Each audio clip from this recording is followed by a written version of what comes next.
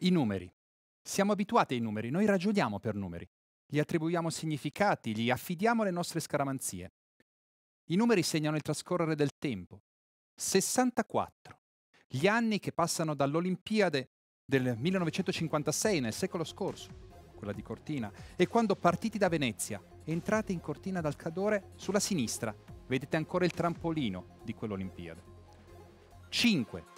Il numero dei campionati mondiali di sci alpino disputati in Italia, l'ultimo nel 2005 a Bormio, 15 anni fa. Secoli, lustri, anni, il susseguirsi delle stagioni. 4. Adesso il verde ampezzano si è trasformato nei gialli, nei rossi, negli arancioni caduchi. Tra poco sarà tutto bianco. Giorni infine. 100. 100 giorni per un evento che riporta il mondiale in Italia.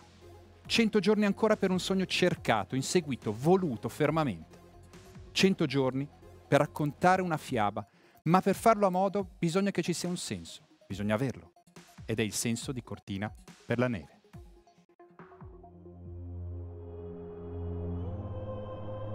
La bellezza non ha bisogno di molte parole.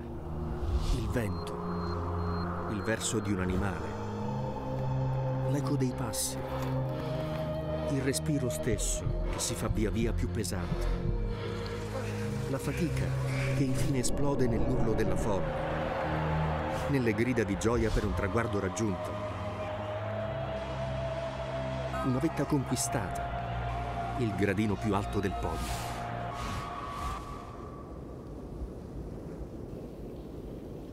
La neve attenua i rumori, ma acuisce i sensi.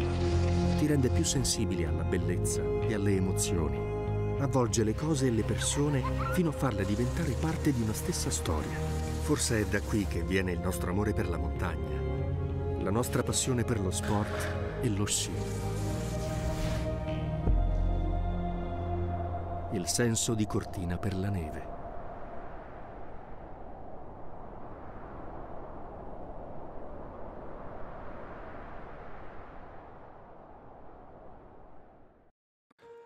Io credo che le fiabe, quelle antiche e quelle moderne, possano educare la mente. Sono luoghi in cui tutte le ipotesi diventano vere. Ed è come avere delle chiavi per entrare nella realtà da strade sempre nuove. Ci possono aiutare a comprendere il mondo. Cento anni fa, cento anni più sette giorni, nasceva Gianni Rodari. In Piemonte, all'ombra delle Alpi autunnali, quelle che cominciano ad imbiancarsi su, sulle cime. Quella era un'Italia sconvolta dalla Grande Guerra, decimata nei numeri, con un'economia in ginocchio dopo mesi e mesi di trincea.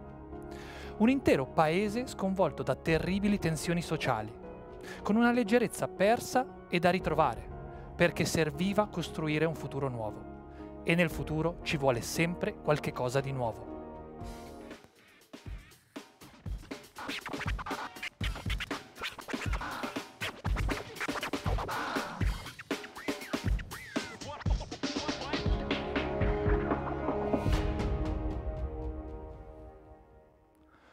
Il nostro paese avrebbe vissuto altri ribaltamenti e momenti difficili, ma quel gigante d'Italia, nato cento anni fa, con la sua narrativa, con le sue fiabe, sarebbe rimasto nell'immaginario collettivo di tutti, quasi come un nonno particolarmente saggio, al quale tutti siamo molto affezionati.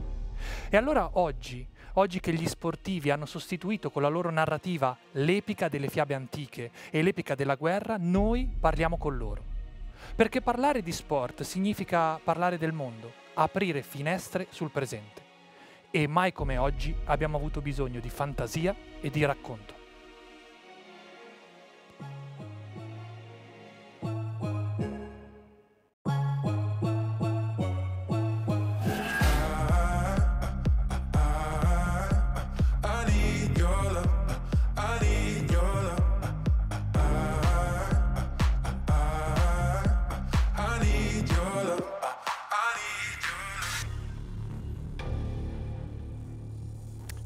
Le piste piene di gobbe di allora, violentate dagli sci di Zeno Colò, la medaglia d'oro di Carletto Senoner nel mondiale cileno, annunciata a tutta l'Italia mentre l'Italia ad agosto è in spiaggia, in vacanza, è il 1966. il 7 di gennaio del 1974, quando una penna magica disegna su un foglio e su un giornale il mito, la valanga azzurra. Le coppe del mondo, le quattro di Tony, quella di Alberto Tomba, quella di Pierino Gross e l'ultima di Federica Brignone.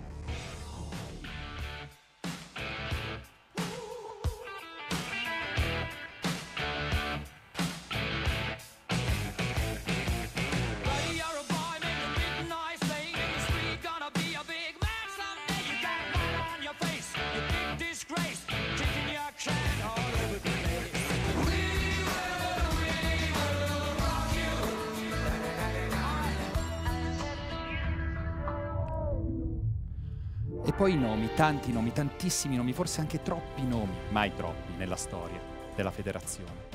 Andando ancora indietro, Leonardo. E poi De Chiesa, e poi Muche, poi Deborah, Isolde, Karen, fino al 1987, fino all'attrazione integrale di Tomba, la bomba. Il Festival di Sanremo che si interrompe, i due ore di Calgary. E poi l'Italjet e il Ghedo, il Ghedo che vince la prima proprio a casa sua, a Cortina. E poi gli altri. Ancora Rocca, Phil, Innerhofer, i Mölk, Blardone e Razzoli. Razzoli è quell'urlo urlato, quell'oro incredibile, forte del parterre di Vancouver. E le tre ragazze che salgono sul podio. Non c'è spazio per le altre, ma solo per Brignone, Goggia e Bassino.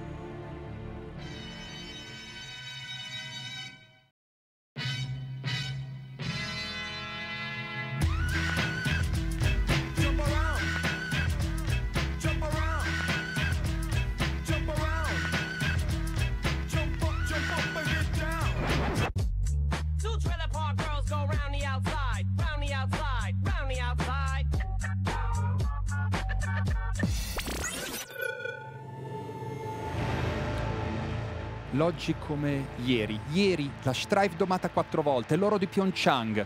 Oggi come ieri, come nel 1974, come cento anni fa, quando è nata la Federazione Italiana Sport Invernali. Le Dolomiti ampezzane, tanto ammirate e temute, ci hanno messo millenni a diventare quello che sono oggi. Le loro curve, i declivi, le rocce e le piante secolari. Di fronte alla forza della natura, cento anni possono sembrare insignificanti, soprattutto se parametrati al peso della storia e all'agire di quegli elementi che le stesse montagne hanno modellato.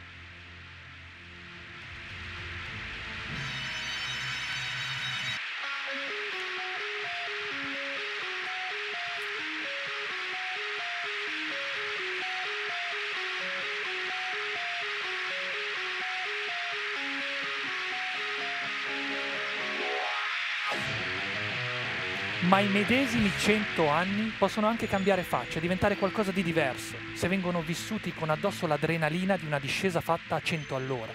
Una discesa fatta col naso all'ingiù. Una discesa fatta in equilibrio precario su due lunghi pezzi di legno attaccati ai piedi, unico ancoraggio alla montagna, alla neve. Strumenti che si sono fatti via via più moderni e tecnologici. Sempre più corti gli sci e sempre più veloci, sempre più muscolosi e forti gli sciatori. Questo è stato un secolo di meraviglia, è stato un secolo di scoperta e di avventura. Questo è stato un secolo pieno di miti e i miti più passa il tempo e più diventano sacri. Ma i miti, come nasce il mito? Come nasce la leggenda? Aiutami Max. Come si crea un'impresa che non svanirà nel tempo, mai? Forse si crea non rendendosene conto, quasi inavvertitamente, andando avanti, credendoci, ma continuando a crederci, ad andare avanti contro ogni previsione, contro ogni avversità e contro ogni avversario. Sognando, sognando cose che gli altri non hanno neanche mai avuto l'ardire di immaginare, figuriamoci di nominare. Il mito non puoi decidere di entrare nella storia, puoi viverla, cercare di scriverla. Quella è cronaca, forse. Poi diventa storia. Però andare avanti, allenarti con i tuoi compagni, con i tuoi colleghi, continuare a credere nel sogno, fino in fondo, con la tua comunità, al di là del non ce la farete mai, perché non ce la farete mai per i vincenti, non esiste. Allenarti, soffrire, gioire, a testa alta, sognando quel momento, quell'inno, quel podio, sognando quelle parole. Dichiaro aperti un momento che rimarrà per sempre, un momento che non dimenticheremo mai.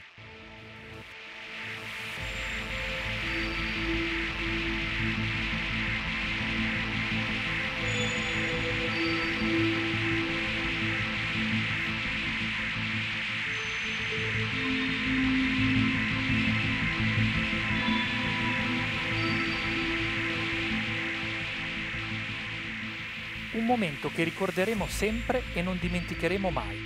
Sempre e mai. Il sempre e il mai sono come due gemelli diversi.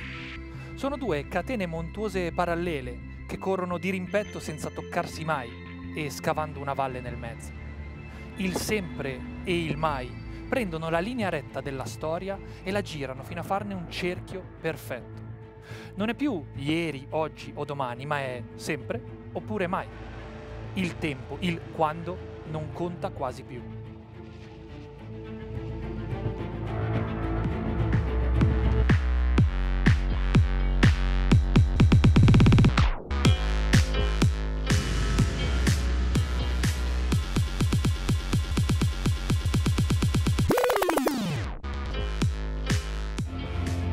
Quando il tempo smette di essere una freccia e diventa un cerchio perfetto, ecco che improvvisamente il passato e il futuro sembrano terre straniere, inattaccabili. E tutti noi ci ritroviamo spalla a spalla in uno dei tanti recinti della storia. Questo è un anno che ricorderemo sempre e che non dimenticheremo mai, nel quale siamo fianco a fianco chiusi in un cerchio della storia e nel quale il tempo sembra essere immobile. Eppure, eppure non lo è, perché quello appena concluso è stato un secolo di scoperte, un secolo che ci ha cambiato. Ha cambiato l'Italia, ha cambiato noi e il nostro modo di vivere lo sport. È stato un secolo pieno di grandi appuntamenti e il prossimo grande appuntamento è distante solo 100 giorni.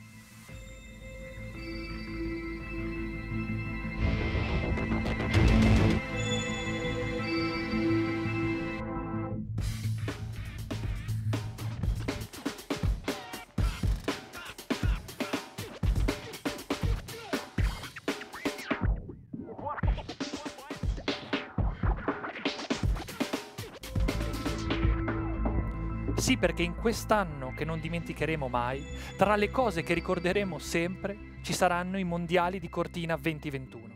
Il momento in cui torneremo ad essere un tutt'uno con la storia. I mondiali di Cortina 2021, ancora distanti eppure già vicinissimi. Il momento esatto in cui cronaca e storia torneranno ad essere una cosa sola. E sarà la cronaca a diventare poi storia. La cronaca però a raccontare le gesta degli atleti, degli atleti di tutto il mondo, degli atleti di tutta Europa, degli atleti della nazionale azzurra.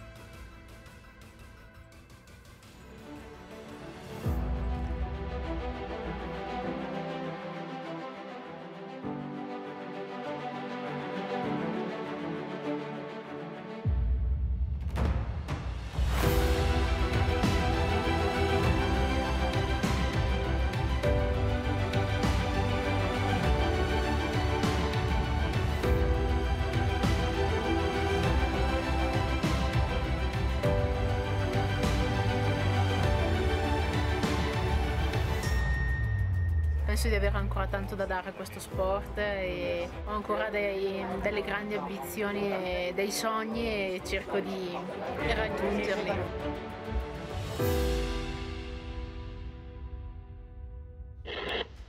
Ciao Sofia, benvenuta da noi. Ciao, buongiorno a tutti. Eccola, benvenuta. Allora, una donna a rappresentare la, vaga- la valanga rosa, un uomo a rappresentare invece la valanga azzurra.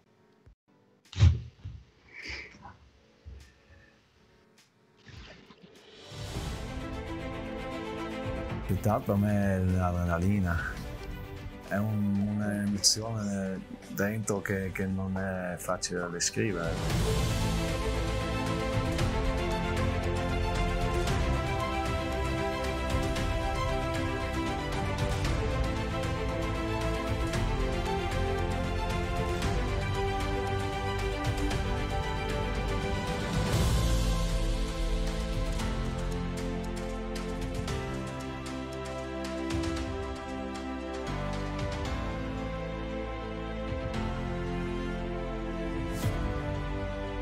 Sono dentro mm, mi sembra sempre quasi di- cadere all'interno. Ciao Dominic e benvenuto al meno 100 dai mondiali di Cortina d'Ampezzo. Ciao a tutti, ciao. Allora, benvenuti entrambi. Eh, se entrambi siete velocissimi e siete abituati a essere primi, o possibilmente il più delle volte. Però questa volta, Domme, eh, facciamo ladies first prima le signore. Per cui iniziamo con questa intervista, un po' atipica anche, perché l'abbiamo pensata proprio così, come saranno atipici e bellissimi questi mondiali di Cortina 2021. Per cui iniziamo da Sofia. Abbiamo iniziato, Sofia, parlando di fiabe di leggerezza. È stato un inizio leggermente poetico quello del nostro racconto. Una leggerezza però che forse è perduta, forse è da ritrovare. Qual è lo stato d'animo oggi, tuo, adesso, in un contesto completamente differente rispetto a quello dei soliti mondiali? Ma eh, a dire la verità, sto molto puntando a, a questa leggerezza, che è leggerezza dell'animo, leggerezza dello spirito. Eh, non è superficialità, non è menefreghismo, ma è riuscire a farsi scivolare un po' eh, le cose addosso e, e anche vivere un po' più serenamente. Io ho avuto un anno un po' difficile, una mm, stagione transitoria che eh, mi ha insegnato molto e che dall'altro lato mi, mi ha molto anche segnata, però mm, è proprio eh, stata la ricerca di questa leggerezza che secondo me mi ha eh, fatta ritrovare per la persona che sono oggi eh, e mi sento, mi sento serena fondamentalmente. Poi chiaramente viviamo in, in tempi talmente incerti che eh, veramente io ragiono di 24 ore in 24 ore e questo ti costringe anche a vivere, eh, ti costringe ma mh, non in maniera eh, nel, nel ter- nell'accezione negativa del termine, bensì ti dà l'opportunità di vivere il presente al meglio. E, e quindi sebbene siamo ancora molto lontani dai mondiali, io cerco di, ehm, di, di fare il mio meglio, di dare il mio meglio, di essere la miglior atleta che posso essere e anche la miglior persona eh, per quella che sono oggi. Dominic, eh, Sofia ha parlato di tempi complicati, questo è stato sicuramente un anno unico e particolarissimo.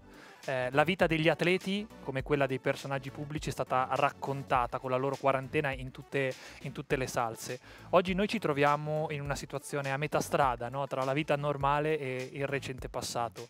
Mi chiedo se ci sono delle cose che questi mesi così strani ti hanno insegnato, se ci sono delle cose su te stesso che hai scoperto o magari riscoperto. Eh, alla fine devo dire che non ha cambiato tanto, cioè tra l'infortunio che ho avuto, allora ho dovuto stare a casa, ho dovuto lavorare, eh, fare fisioterapia e tutto il mondo, eh, ho dovuto fare tutto per rientrare al meglio possibile, per quello cioè, alla fine sono stato, cioè, è stato un periodo molto pesante eh, di lavori, però il resto vivendo un po' fuori da tutto come me all'ultimo eh, dove non è stato così grave allora non ho neanche sentito tanto de- della situazione di primavera. Adesso si, si sente molto di più perché eh, come squadra cercheremo di andare in giro a, a sviluppare o a, a prendere tutte, tutte, le possibilità sulle piste, sulle condizioni per fare allenamenti, però adesso con la situazione diventa sempre più difficile. Grazie Dome, stiamo facendo questi passi piano piano, partiamo anche, come abbiamo fatto noi nella storia, partiamo anche un po' dalla vostra storia. Per cui, Sofia, in ogni grande campione, in ogni grande persona eh, è un po' come una cipolla, andiamo a togliere gli strati piano piano, degli strati che si sono accumulati, che sono fatti di esperienze, di talento, anche di protezione, se vogliamo, ma alla base di tutta questa fatica, di questa voglia poi di vincere, di gareggiare, c'è sempre un bambino. Eh, il sogno di un bambino. Tu che bambina sei stata e cosa hai un ricordo particolare di quel momento? Uh, quando devo descrivermi da bambina, dico sempre che se mi avessero chiesto sei anni, uh, Sofia, cosa vuoi diventare da grande? Io avrei risposto vincere, eh, diventare una campionessa di sci. Eh, io ho avuto la fortuna di incontrare un maestro che mi ha seguita per dieci anni e che nel bene e nel male mi ha ehm, forgiata eh, sia nell'atleta che nella persona che sono e, e mi ha veramente dato il senso della competizione. Infatti, quando mi descrivo da piccola, parlo sempre di una stradina di collegamento tra Poppolo e Carona, che è la stazione sciistica dove ho iniziato a, a- a muovere i primi passi sulla neve. E era tutta una stradina in piano vicino a un ruscelletto senza alcuna rete e, e facevamo sempre la gara noi bambini a uovo eh, in posizione aerodinamica per arrivare da Popolo a Carona. E io dico sempre non c'è stata una domenica in cui io non abbia vinto. Quindi ho sempre primeggiare e anzi forse proprio eh, io vivo molto lo sci per, eh, per essere la, la più veloce fondamentalmente andando a tutta, andando a 100, con il 100 che sono anche i punti che vengono dati per ogni vittoria. Ma il 100 è un numero molto particolare, Jacopo. 100 sono anche gli anni di storia di questo, di questo sci, un secolo intero. E volevo chiedere a Dominic, perché una delle cose che più mi è piaciuta nello studiare il passato questo- di questi 100 anni era la discesa libera di una volta, cioè c'era una partenza, un arrivo e in mezzo valeva tutto, mentre oggi si arriva invece a fare ovviamente traiettorie e sicuramente è uno sport completamente diverso. E mi chiedo quali sono stati i tuoi idoli da bambino, gli sciatori che guardavi e magari se c'è un'epoca in cui non ti sarebbe dispiaciuto essere, essere nato diversa da questa. Sì, no, quando mio periodo è stato con Herman Mayer, cioè ero tifoso di lui perché è stato l'uomo, quello che c'era da battere, cioè non, c'era, non, non nessuno a lui, per quello è stato un po' il mio idolo mm, nella mia parte da ragazzo, però eh, sì, forse sarà stato anche il tempo quello per, per fare le gare perché mi piaceva più perché c'era più discesa, ancora più vera discesa, c'era più dritto, c'era più salti, più, più dossi, c'era era una discesa molto diversa anche solo adesso sì, 30 anni fa, 20-30 anni fa, adesso è sempre andato verso più, più curve e si fa sempre meno salti. Quello, eh, mi dispiace un po' che sarà stata più bella la discesa vera, partenza, traguardo, partido e più veloce possibile. Voleva ancora più discesa, Domme. Eh beh, mi immagino, ma entrambi, con il gusto per la velocità e il gusto per la libertà. E poi il gusto anche del libero pensiero, perché siete entrambi molto molto forti di testa, lo siete sempre stati. Ma Sofia, tu quante volte hai pensato di mollare e quante invece sei andata avanti di testa tua sapendo di aver ragione anche contro tutti? Ma eh, ho avuto fondamentalmente due momenti di crisi molto forte esistenziale, un po' una nell'ultimo anno e l'altra nel 2015, quindi a distanza di 5 anni. E alla fine però sono sempre partita per fare questa cosa per me stessa, nella consapevolezza di, di voler ancora raggiungere quello che mi sono prefissata e mi sono prefissata e non è detto che lo ottenga, ma ci provo e alla fine penso che sia anche quello il senso de- della vita e dello sportivo che ambisce a qualcosa. Che poi è una vita fatta di sacrifici, di grandissimi sacrifici e anche di rinunce, anche se devo dire che secondo me po- lo sportivo professionista la rinuncia non la vive tanto quanto il desiderio di arrivare al proprio risultato. Sì, ma mi chiedo per esempio, Domme, ti è mai capitato di avere il dubbio, anche solo per un secondo, che tutte quelle alzatacce all'alba o che tutti quei sacrifici valessero la pena? Boh, mai pensato, mai ragionato. Mentre scendo non, non riesco a pensare, cioè è proprio un divertimento che, che c'hai addosso che non riesci, cioè che, che non pensi a altre cose, per quello boh, non, non posso neanche rispondere su questo. Allora ti faccio un'altra domanda. Qualche settimana fa stavamo chiacchierando e mi hai detto una frase bellissima che non ho più dimenticato. Mi hai detto l'adolescenza è un periodo complicato per tutti, si possono fare degli errori, ma io mi sono aggrappato allo sci. Che è una frase bellissima e mi chiedo che cosa rappresenta per te aggrapparsi allo sci. Cioè, ehm, è stato sempre mio sogno eh, di, eh, di diventare un, un sciatore sì, eh, alto livello, cioè discesista, per quello mi sono sempre aggrappato a, a quel sogno lì, eh, anche se mi sono perso un po' in giro nella mia vita e ho fatto tante stupidaggini così, però ho mai perso quel, quel sogno lì in testa e mi sono sempre messo lì a lavorare per, per arrivare. Poi quando ero molto vicino ho capito la cosa, come funziona e cosa devo fare e quanti eh, impegni mi devo mettere per diventare ancora più, più forte, più veloce, più bravo e, e, e da lì è andata sempre più in su e alla fine ho questa carriera dietro di me.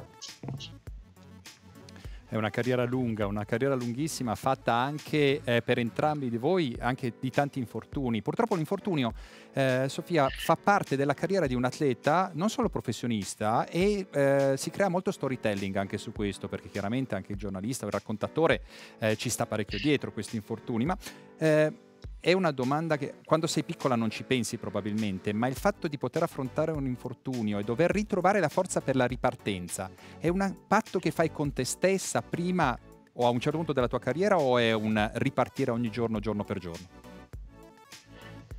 Ah, penso che sia un connubio di, di entrambe le cose. Eh, io ho avuto degli infortuni. Ehm, cioè io ho avuto parecchi infortuni e alcuni sono riuscita a viverli eh, proprio serenamente, eh, valutando la, la, condizione che mi aveva portato a proprio farmi male, e però prenderla con eh, positività e sempre partendo da me stessa per eh, migliorarmi. Erano come mh, alcuni infortuni io li ho vissuti proprio come delle sfide personali per eh, lavorare su quelle parti di me in cui ero più ferente e quindi li ho sempre visti come una mh, possibilità per diventare migliore e per essere più forte. Altri invece sicuramente sono stati più difficili da, da digerire, ma erano anche figli di situazioni che anche emotive che non, non, non, calzavano a pennello e che non andavano bene. Quindi erano più un monito, ecco.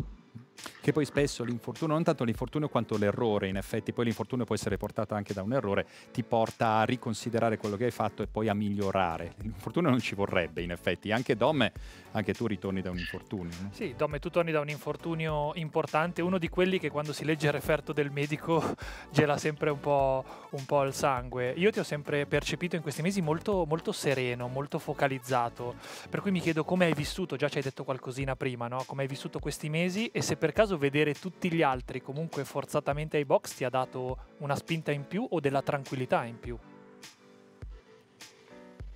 Ma uh, sì, alla fine ho fatto il solito come si fa, no? ogni anno insomma, c'era un po' più tempo, c'era un po' più eh, da lavorare su, sulla parte ginocchio, però, però alla fine ho fatto tutti i lavori eh, pesanti e, e, ho fatto di tutto per essere in condizioni migliori eh, fisicamente per sciare e poi adesso eh, tocca sciare e anche se porti tutto il fisico non è detto che sci veloce però io cerco al meglio di, di tornare veloce Ragazzi, stiamo arrivando alla fine della nostra lunga chiacchierata, anzi grazie mille per il tempo che ci state dedicando, che avete ritagliato dagli allenamenti, anche perché siamo all'inizio della Coppa del Mondo. E proprio per questo arriviamo alla stagione.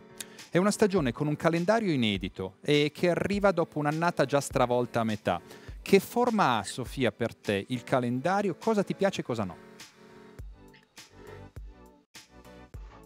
Eh, non è che sia cambiato così tanto, solo non andiamo in, in, America, non andiamo in Canada, però per il resto tutto abbastanza uguale, tutto abbastanza confermato, quindi poco cambia, ci saranno delle tappe doppie come magari eh, non so, in Francia e Svizzera, se magari prima c'era in programma un super, c'erano in programma un super G e una discesa, adesso magari c'è un super G e eh, due discese. Mm, quindi poco cambia, vengono solo cancellate le, le gare americane e, e, e replaced in, in, Europa. quindi alla fine sembra tutto regolare. Perfetto, per cui eh, anche in questo l'aspetto positivo, cioè non mi importa delle combinate, non mi importa delle altre cose, la vedo comunque come eh, opportunità, come possibilità, così come un'opportunità Eh, che le combinate sono state cancellate, sì, è che non le ho prese tanto in considerazione. Forse anche perché non, non- non è che ne pratichi tantissime, anche se alla fine quest'anno comunque eh, le farò. A Cortina c'è la combinata. Ehm, però fondamentalmente io mi riferivo più ai Super GL discese. E quindi sì, non c'è più Lake Louise, però vengono rimpiazzate in altre tappe europee e, e- speriamo di poterle disputare davvero. Esatto, a Cortina la combinata c'è e darà il titolo di campione mondiale durante la, eh, le due settimane dei mondiali. Ed è anche un'occasione per dare il 100%, Jacopo. Sì, io approfitto della mia ultima domanda lunga ad Omme per fare una divagazione. Eh, stavo parlando con un mio amico allenatore, non di sci, di un altro sport, di una nazionale italiana, e lui mi diceva, e mi è rimasto impresso, che odia quando un allenatore dice all'atleta che deve dare il 110% o il 101%. Perché dice che il messaggio che passa è quello che il tuo 100% non basta, sotto pressione devi fare qualcosa di più, inventare. Mentre invece nel 100% di un atleta è una cosa che si costruisce, c'è dentro esperienza, allenamenti, fatiche. Quindi mi chiedo quanto sei vicino al tuo 100% e cosa c'è dentro il tuo 100%. Eh, Questa è un po' una domanda un po' più difficile. Eh, diciamo, sono 100, sono al 100% adesso, però eh, sapendo o anche si è anche visto, se uno ha vissuto un po' lo sci negli ultimi anni, che il 100% lo riesco, riesco solo a tirare fuori quando c'è il giorno di gara. Allora non, non so quanto sia alta il mio 100%. Quindi nel tuo 100% c'è l'adrenalina della gara, senza si resta sotto. Però questa è una cosa Ecco. bellissima, eh, Dom e anche Sofia, Jacopo, perché ad esempio nel motorsport si dice sei un pilota da sabato, cioè sei fortissimo in qualifica, oppure sei un pilota da domenica e sei fortissimo in gara. E comunque essere forti in gara è molto molto meglio. Arrivo anch'io alla mia ultima domanda lunga e poi avremo finito con la vostra lunga chiacchierata. Sofia, la Coppa del Mondo di sci è un circuito girovago, siete un po' zingari, siete sempre in giro e magari una generazione fa fatica ad avere un main event, un evento grosso di quelli importanti eh, nel proprio paese. Voi avete una generazione che ha la fortuna, la possibilità di disputarne due, i mondiali e eh, l'Olimpiade. L'ultima Olimpiade italiana è di 14 anni fa, chiaramente eh, dita incrociate. Dopo Pechino sarà di nuovo qui. L'ultimo mondiale italiano è di 15 anni fa. Il prossimo è solo 100 giorni da oggi. Sensazioni, progetti, parafrasando Battisti, pensieri e parole? Ma guarda, febbraio è dietro l'angolo, febbraio è ancora molto lontano. Eh, eh, speriamo veramente di arrivarci con- disputando tutte le tappe di Coppa del Mondo o comunque in, essere, potrà- in quello che potrà essere uno scenario abbastanza standardizzato e che si atterrà a- alla calendarizzazione de- delle gare. Ehm, è vero, noi abbiamo la possibilità di vivere due grossissimi eventi ridati nel nostro amato paese e sarà di sicuro un'emozione grandissima, però eh, veramente io voglio mm, ragionare giorno per giorno, inoltre la squadra ha tantissime ragazze che, che vanno forte, quindi prima bisognerà qualificarsi. E le uniche due che si sono qualificate per ora sono la Fede e la Brignone e la Bassino che hanno fatto il podio a Solden.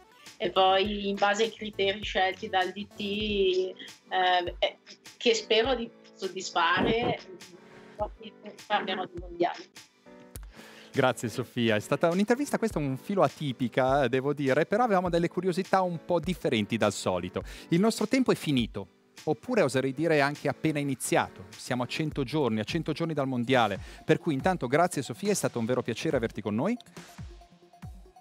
grazie a voi E grazie Dominic, ci vediamo, ci vediamo presto. Grazie. L'appuntamento Ora per tutti è a Cortina d'Ampezzo. Al 7 di febbraio mancano ancora 100 giorni. Nel mentre ci saranno le gare di Coppa, altre vittorie, altre sconfitte, altre storie. Vi aspettiamo a- a Cortina, ma cos'è Cortina? Cortina is...